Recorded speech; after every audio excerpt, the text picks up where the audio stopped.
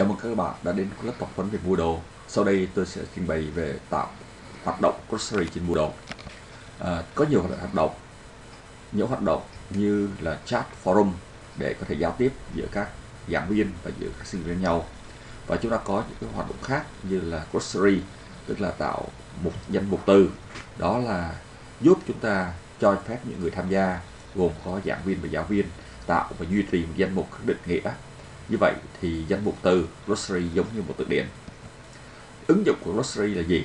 Thì với glossary thì giảng viên có thể xây dựng, dịch nghĩa các từ khóa để cho sinh viên học tập hoặc là giáo viên không xây dựng các định nghĩa các từ mà giao nhiệm vụ này cho sinh viên với việc sinh viên xây dựng các từ khóa nhằm kích thích các sinh viên tự học và cũng như kiểm tra mức độ hiểu biết của sinh viên và ngoài ra thì glossary ờ, không chỉ là có thể có những định nghĩa mà việc hiển thị các cái định nghĩa uh, của uh, các cái từ này trong bối cảnh uh, trong khoa học sẽ giúp cho việc hiểu các từ này một cách tốt hơn. Chúng ta sẽ lấy một thí dụ à, chúng ta sẽ tạo ra bốn cái định nghĩa của bốn từ khóa học e-learning EMS và Moodle và chúng ta có bốn từ này giả định chúng ta chia nó làm hai nhóm hai loại category. À, một nhóm là nhóm giáo dục và nhóm thứ hai là nhóm phần mềm thì ờ, khi mà chúng ta vào grocery trong tạo grocery và khóa học thì gồm các phần chính như sau.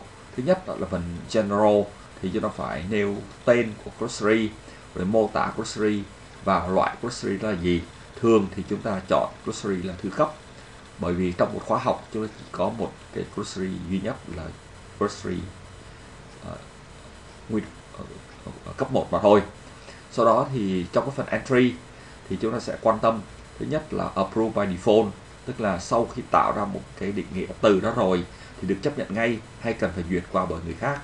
Thì trong trường hợp không quá nhạy cảm chúng ta nên để approve by default tức là sau khi sinh viên tạo ra một định nghĩa từ đã xong thì được chấp nhận ngay.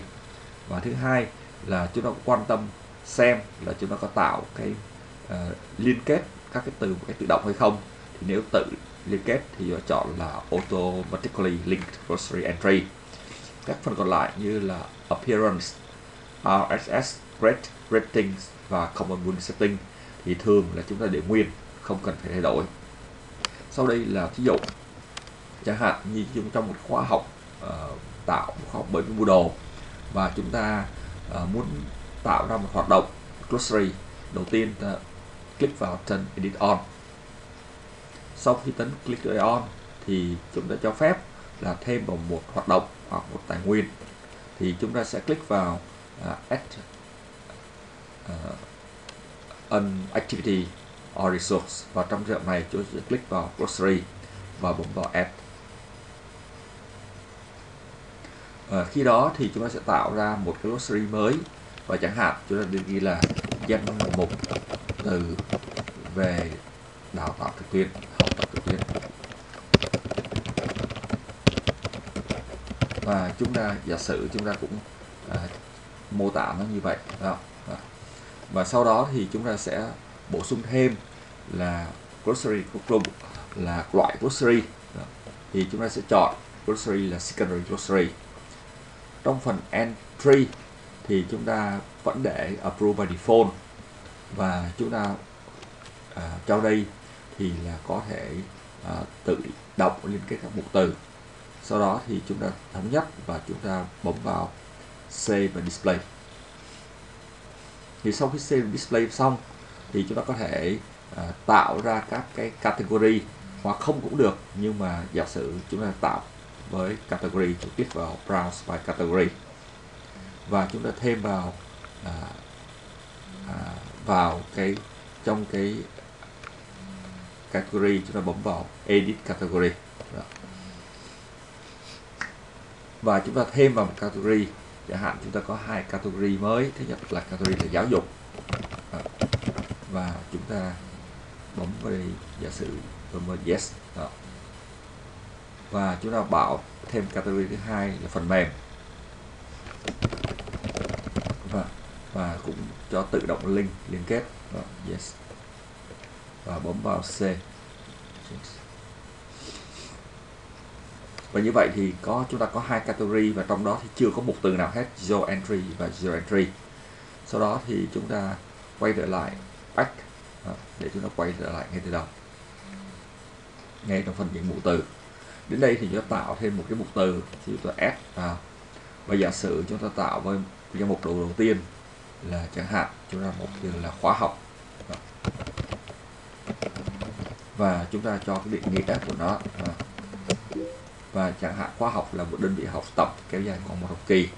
Và sau đó thì chúng ta chọn category của nó là giáo dục. Và sau đó chúng ta bấm vào là à, uh, auto linking và thì chúng ta chọn là đây là có auto link bấm vào should be auto link và và tôi bấm save change. Như vậy thì nó sẽ tự động liên kết. Chúng ta tạo một mục từ chúng ta sẽ mục từ thứ hai cho click vào new entry. Và giả sử chúng ta đưa vào một cái từ thứ hai là e-learning.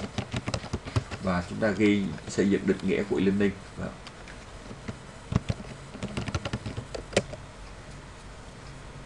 Và chẳng hạn chúng ta cho cái định nghĩa của e-learning như sau.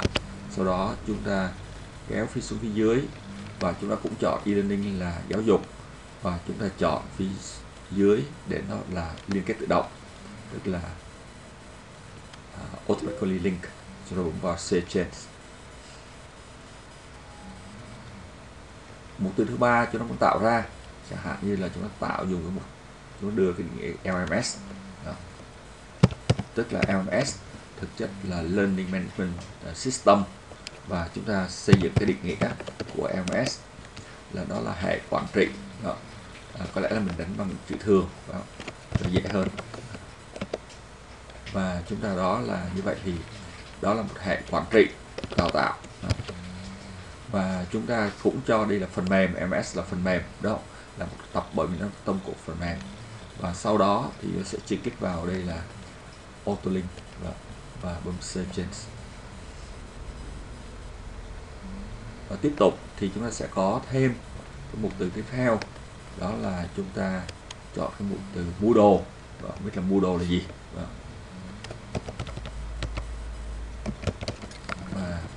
sau đó thì chúng ta sẽ cho Moodle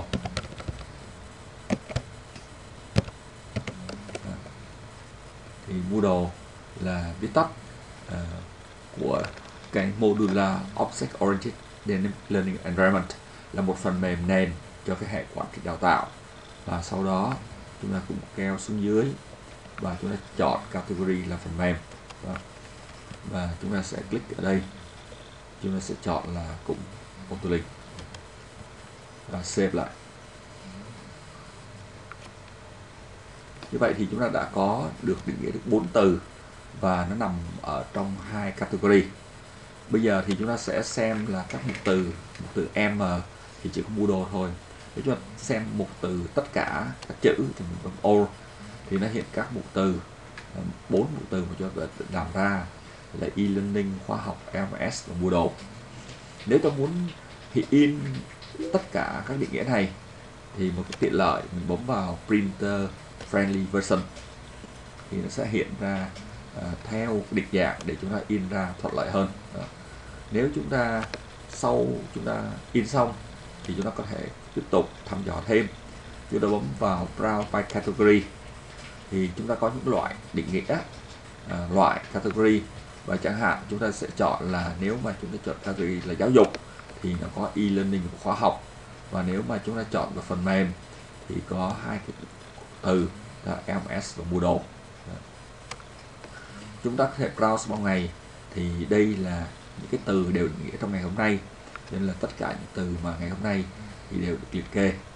Và theo tác giả thì do vừa rồi ờ, chỉ có một mình tôi thực hiện cái định nghĩa này.